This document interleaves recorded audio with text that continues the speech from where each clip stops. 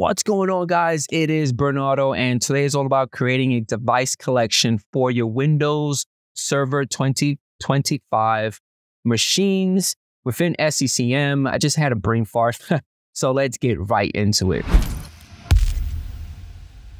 All right, so hopefully you guys check out the last video when I showed you how to deploy Server 2025 using SCCM. Today is all about creating a collection to grab all those servers that are running server 2025 and they, you know, they could be placed inside a collection. So you could either push packages to that collection.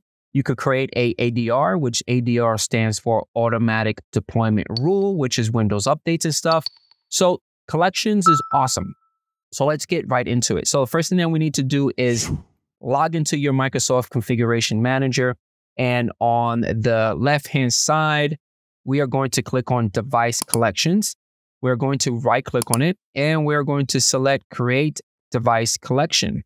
You're going to get the wizard. We're going to give it a name. I gave it the following, pretty self explanatory. For limiting collection, we're going to click on browse and I'm going to select all systems. Let's click OK. And we're going to click on next. Now, for the rules, we're going to click on add rule and we're going to select the second one. So click on the second one. We're going to provide a name. We're going to edit the statement. And within here, we're going to click on show language. And this is what you're going to enter. Well, this is what I entered. um, pause the video. I'm going to pause it. No, for real, pause the video and jot this down. If you if you want, I could I actually have notes. I copied and pasted from a notepad uh, text file. I could copy and paste it downstairs at the description part. Just let me know. Hit me up in the description. Hey, Bernardo, can you add this somewhere so I could just copy and paste it? Or if you want, take a screenshot of it and or type it manually.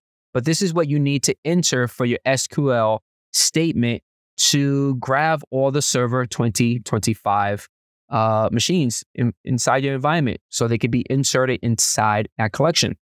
Now, the build number might change, but for me, I am running 26100 within my environment. So you might have to change the build for, for this particular uh, SQL statement.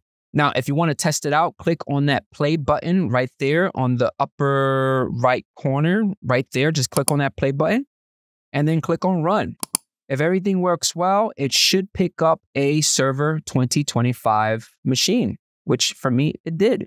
And that's actually the machine that we did on the last video when we deployed uh, Server 2025 uh, within SCCM. So that's the machine.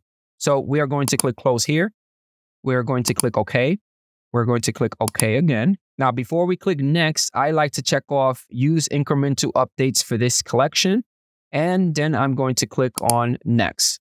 A nice little summary, click next green check mark within SCCM is always a good thing. Trust me, a green check mark within SCCM is great, but sometimes behind the scenes, check the logs to make sure stuff is actually working. So click close here and then give it some time. Eventually, your collection underneath the member count column should say the number of, you know, how many server 25 machines server 2025 machines you have within your environment. For me, I only have one, and that's the reason why you see one. And that's it, guys. Hopefully, you guys enjoy, and I catch you guys on the next one. Peace out.